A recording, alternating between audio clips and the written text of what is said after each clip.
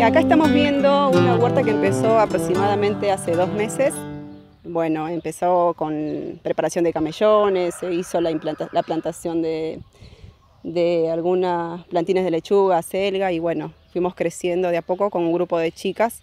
Somos seis chicas que estamos trabajando en esta huerta, nos organizamos en diferentes grupos para venir a, a trabajar, hacer el tema de riego.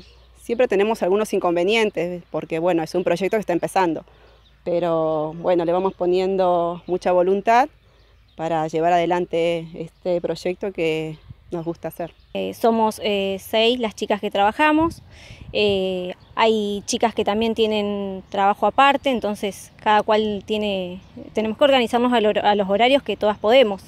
Entonces hay tres grupos que venimos de a dos, a veces hacemos el riego por la mañana, las que pueden por la mañana, y si no el riego se hace por la tarde. Siempre una vez al día vamos cambiando los grupos. Bueno, ahora eh, surgió esto de la huerta que nos dio un trabajo y a mí me salvó el mucho porque el tema de, la cuarentena me había sacado muchos trabajos, me había quedado.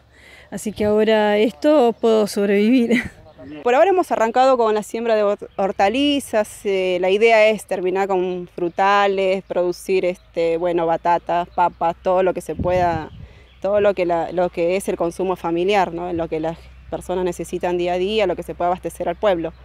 Pero bueno, vamos a ir creciendo de acuerdo a la tecnología que podemos ir, este, implementando. Por ahora la siembra de hortalizas fue lo más práctico y lo más sencillo por el tema de riego, pero bueno, de a poco vamos a ir creciendo. Hemos aprendido un montón porque no es lo mismo hacer la quinta en casa, desparramar la, semilla y esperar que, crezca, a cómo se trabaja acá, que, es diferente, o sea, vemos cómo eh, la diferencia de cómo crece una planta al no tener todo junto, al, darle el espacio que realmente necesita, digamos, como estar bien hecho desde el del primer momento. Ah, sí, bueno, eh, sí, la, la huerta se llama Huerta Las Delicias y el objetivo por ahora estamos produciendo para abastecer las familias, pero bueno, la idea es poder producir para abastecer el pueblo y que no tengan que estar comprando bueno, eh, verduras a tan alto precio. Eh, el objetivo es que la gente compre más barato y lo natural, que salga lo natural.